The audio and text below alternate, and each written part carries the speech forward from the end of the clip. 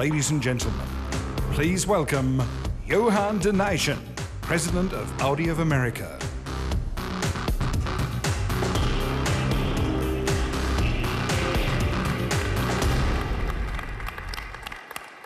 What a fantastic car, isn't it? The new Audi S4. Ladies and gentlemen, a happy new year and a warm welcome to all of you.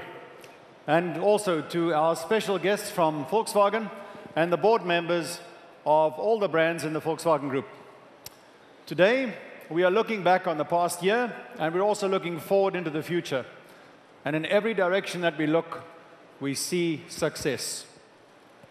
The story of Audi of America is perhaps best captured in one word momentum.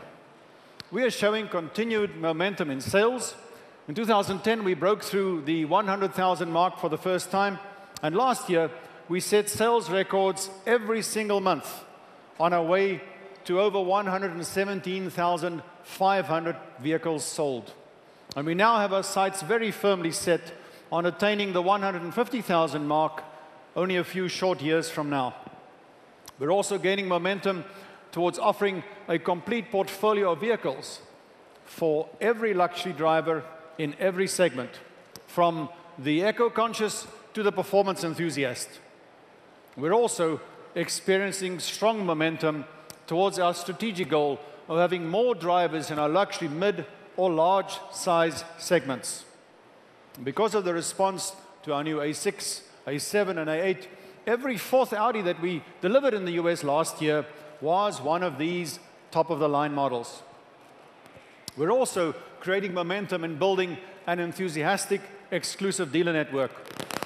We've more than doubled our de exclusive dealership count since 2005, and our program to continue the upgrading of dealer facilities and the expansion of capacity will continue through the next two years. We believe that this momentum is due to superbly engineered vehicles backed up by an equally well-engineered business model based on profitable growth. And we are working very hard to ensure that every interaction people have with our brand, whether it's entering a new Audi dealership or stepping into the new S4, leaves them engaged, excited, and delighted. And that is why I'm so excited about what's in store for us in the future. It is now my pleasure to introduce our CEO and Chairman of the Board of Management of Audi AG, Rupert Stadler. Rupert, join me. Thank you. So good afternoon, ladies and gentlemen. Thank you, Johan. So what's ahead for Audi in 2012? First, building on the extremely successful year that Audi had in 2011. And second, the launch of the two latest members of the Audi family, the Audi A4 and the S4, after their global design and technology improvement. And third, at the Consumer Electronics Show this week in Las Vegas, we'll be showcasing cutting-edge technology from the newest Audi Connect innovations. And finally, an exciting show car, the Audi Q3 Vail and an exciting announcement on the Q3 model series. So let me start with a short recap of Audi's strong performance in 2011. Last year, Audi increased its deliveries by 200,000 units, reaching a total of 1.3 million cars worldwide. For us, this is unprecedented growth. And I admit, we are quite proud about that achievement. Audi is now ranked second among premium car manufacturers worldwide. We set new sales records, not only in the US, but also in China, and of course, in Western Europe.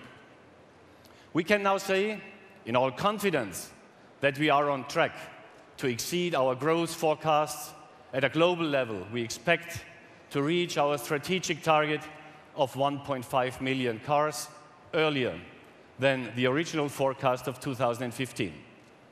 So despite the current market conditions, we also plan to grow faster than the overall market in 2012 in all regions, also including Europe. So the second topic, it's about products. Audi has updated its A4 series, and here you see the sporty S4 top model. It offers high performance and an exciting driving experience. The whole A4 and S4 model series is defined by a new level of efficiency, of driving dynamics, Audi infotainment, and by an even more attractive design. So we have made the new A4 11% more fuel efficient on average, despite having given it more horsepower and more torque. The 3-liter TDI has the most efficient six-cylinder engine in the class worldwide and gets 48 miles per gallon. And another important feature is Audi Connect, a Wi-Fi hotspot to facilitate fast internet and email access, navigation with Google Earth and Street View, voice-controlled Google searches for points of interest. So why not give voice control a try? Navigation, destination, Las Vegas Convention Center.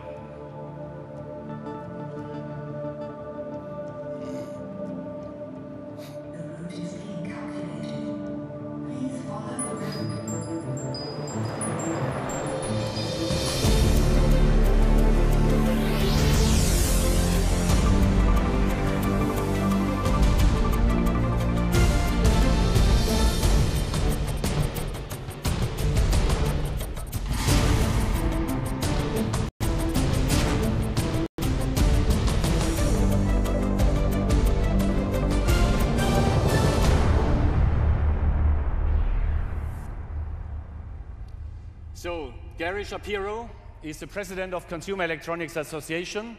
And right now, Gary Shapiro is 2,000 miles west of us in Las Vegas, where the CES show starts on Tuesday.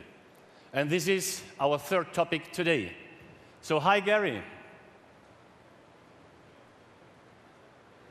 Hi, Rupert. While you're at the place to be for car fans, I'm at the number one trade show for consumer electronics, the 2012 International CES. Here in Las Vegas, we're very proud that Audi is back at CES this year.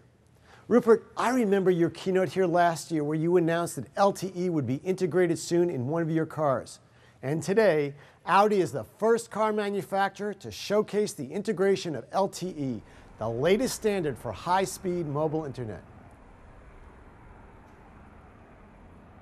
And as you see, I was enjoying my test ride in an A7 with LTE. That's really Vorsprung durch Technik.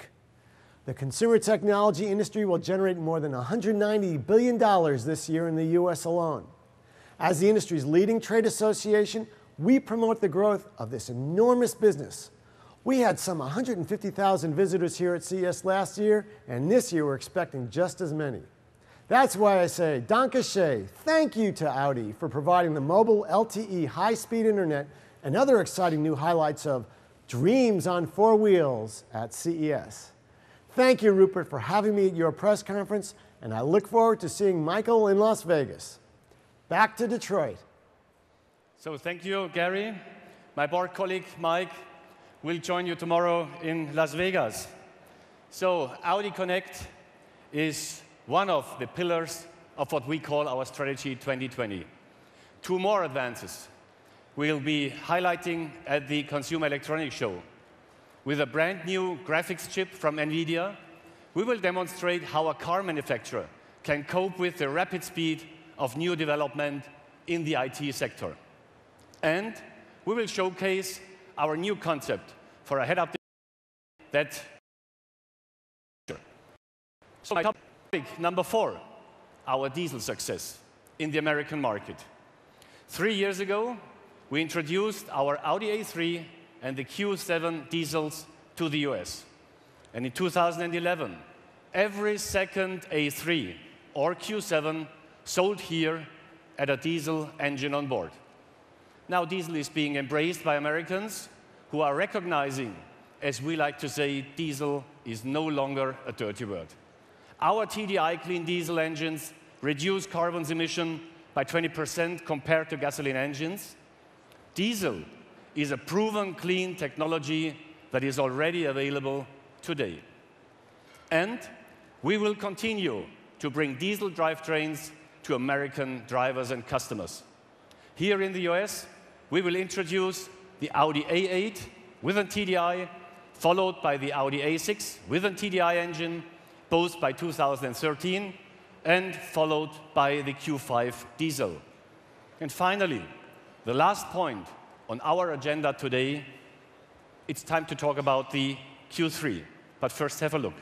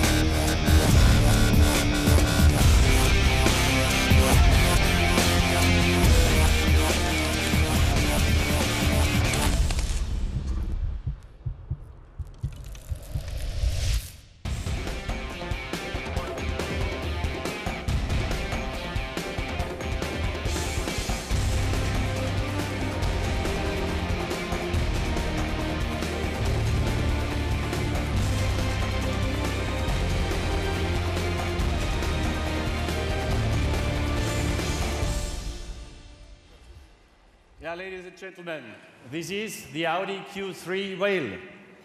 The show car looks very much off-road, but Peter, please, why do you call it Vail, the Q3 Vail?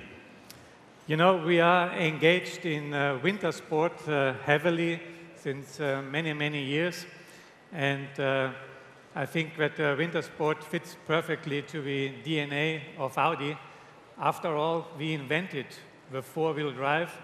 And uh, talking about four-wheel drive, we have another record to announce here, that uh, in 2011, for the first time ever, we sold over 40% of our cars with the Quattro technology equipped. I think this is an absolute great achievement. So talking about uh, C-Sport uh, in the US, you come very quickly to Vail, which is a world-class ski resort. Yeah. And uh, I think, the perfect place uh, to experience this wonderful new car. That's perfect. Uh, what's special about the Q3 Vail? Could you have some information? I think uh, both the interior and exterior are very, very appealing. Uh, in the interior, just an example, uh, we have now a display where you can see exactly the angle of uh, inclination. We expanded the track, we increased the trim, and uh, we have many, many other new features. But I guess, Rupert, that uh, what most people really would like to know now is, are we going to bring the Q3 to the US? And I guess you still remember that uh, last year we both have been here in the US at the dealer meeting presenting the Q3 just to get a feeling of how it could be received by our dealers. And I think it was overwhelming, and uh, we owe them an answer. Yeah, that's true. We have been in San Francisco, and it was an overwhelming event. And uh, in the Audi board, we decided to go with the Q3 to America.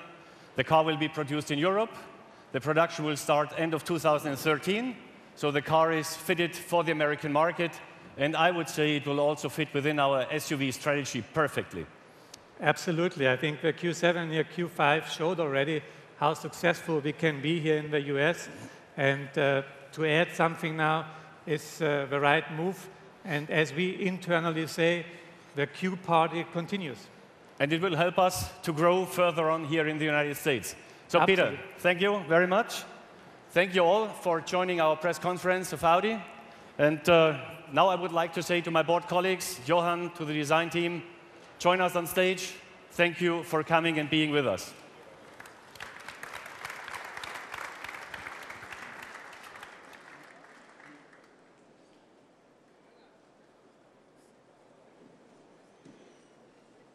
Ladies and gentlemen, thank you very much for attending the Audi press conference. Please join us on stage to take a closer look at the cars.